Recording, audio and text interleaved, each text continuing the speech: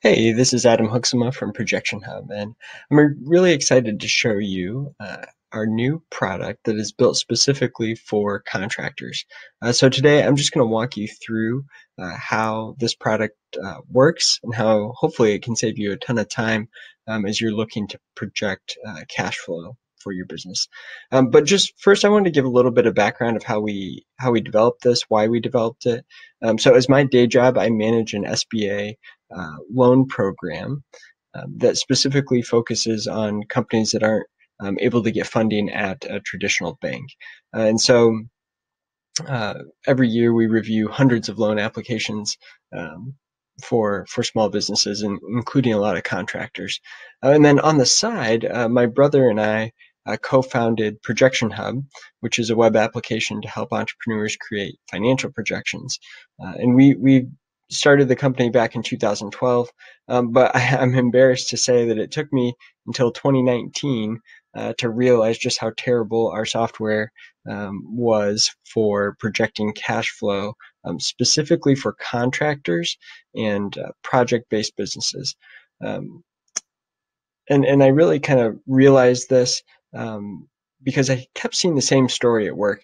So the story went like this: contractor bids on a job, they get the job, uh, and instead of celebrating, they panic. Um, oh no, how, how are we actually going to execute on this job? How are we going to be able to pull this off? Are we going to have enough cash to do this?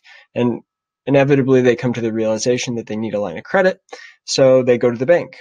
Um, so a contractor walks into the bank, says, I work in commercial construction. I just got this big job, and I think I need a line of credit to help float my labor and my material costs that I have to pay up front while I wait to get paid uh, from my customer. And the banker says, "Oh, yeah, um, yeah, we don't we don't really like to lend uh, in the commercial construction industry. We're um, you know, it's a risky industry, and so we just kind of tend to stay out of it. Um, it's very specialized. We just don't like to do a lot of this kind of lending. And and you could go to 10 banks and you could hear the same kind of story. So I, I started asking these larger contractors how uh, how they finance their business, and they all kept saying, "Well, we have big lines of credit uh, that are available if we end up having a cash flow crunch." It's like, well, why do the banks, on the one hand, say no to the small contractors, and yet the big contractors all have a line of credit? How does this work? And so the, here's the reality: the bank um, is going to want strong collateral, uh, like real estate or equipment, uh, in order to provide a line of credit. And the typical way to kind of break through and get that first uh, substantial line of credit is to just build up equity in your personal home, uh, maybe your office building or, or uh, your, the the biz the warehouse or something that your business is in, um, or to build up equity in equipment that you own, and and use that leverage that to get a line of credit. Um, and so um, that is uh, that's great for how the big guys got there, but that doesn't help you today because you just um, you haven't built up that equity and you just got that big job and you need to figure out how you're going to accomplish it. So that's where Projection Hub comes in. Uh, what we do is help you impress bankers by providing a very detailed 90 day daily cash flow projection. And it takes all of your projects and it layers them on top of each other um, to show you your expected daily cash balance every single day. Um, and so what I'm going to do is show you how this uh, template that we've developed, how this works. Um, so if I can just get this to close for me. I'm going to show you how, how this template works. So the first thing um, we did was develop a set of global um, assumptions. So these are assumptions about um, about your company, about things like payroll, your typical gross margins, um, invoicing assumptions, retainage, um, labor assumptions, how you decide to bill, um, and when you buy materials and assumptions, all cash flow related assumptions.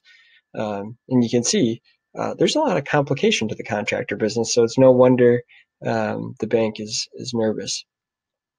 And so um, those are the global assumptions. Then we're going to jump into some projects and we've got a number of project tabs in here. And so what we'll do is you'll come through and you'll add your individual projects. So I've got some um, demo data in here for, for a handful of projects. So I'll just show you as an example. Um, we'll put in, so every cell highlighted in blue is a cell that you um, will need to enter in uh, specific assumptions for.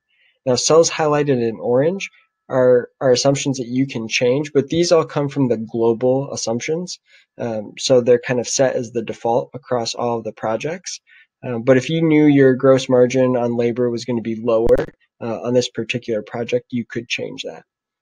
Um, but you're going to go through and you're going to enter in your start and end date, um, your bid uh, for the labor, material, and equipment portion of, of the projects.